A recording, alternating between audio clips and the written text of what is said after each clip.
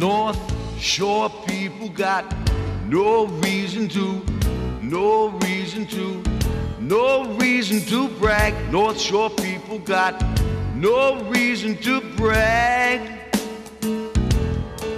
They got Route 1 with nothing but chain stores. They got miniature golf with freaking dinosaurs. It's a place for Bruins fans, both young and old. And you can tell cause all the clothes are just in black and gold. So I don't want North Shore people around. Don't want North Shore people around. Don't want North Shore people around here.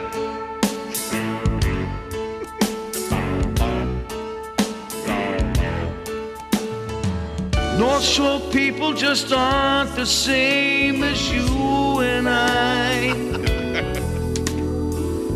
They live with their mothers until the day they die. it's a wonderland world. North Shore people got no reason to, no reason to, no reason.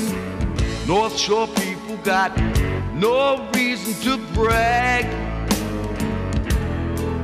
They got pink flamingos out on their front lawns. They got crappy cars and lots of airhead blondes. They got a town called Chelsea, but beware if you go.